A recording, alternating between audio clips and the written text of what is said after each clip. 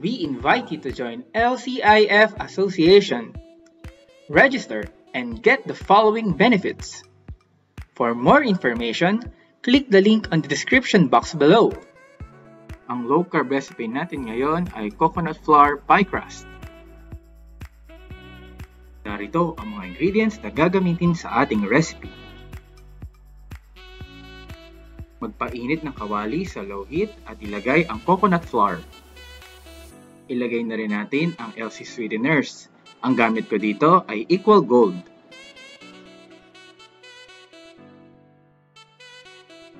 Ilalagay na rin natin ang cinnamon powder. Palagi ang haluin ang mga sangkap sa kawali habang niluluto sa init ang mixture. Magbabago ang kulay nito to light brown.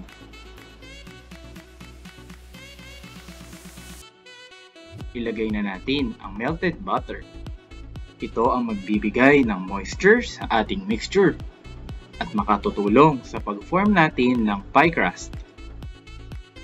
Maaari ding dagdagan ang LC sweeteners ayon sa inyong panlasa kung nais ninyo ng mas matamis na pie crust. Haluin ang mga sangkap.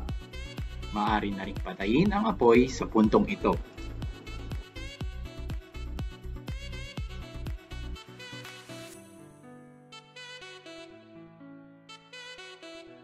Ilalagay na natin sa hulmahan ang ating mixture.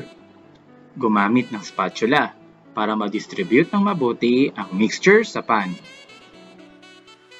Sa videong ito ay gumamit tayo ng springform pan, pero maaari din gumamit ng glassware or aluminum dish.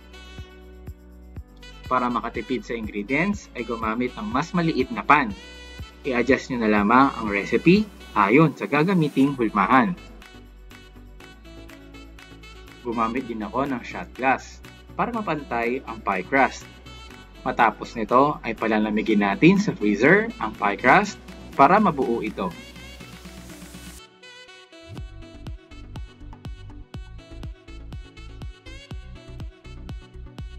Ready na ang low carb coconut flour pie crust at maaari nang gamitin sa iba't ibang low carb recipes. Magkita-kita ulit tayo sa mga susunod na low carb recipes. Salamat!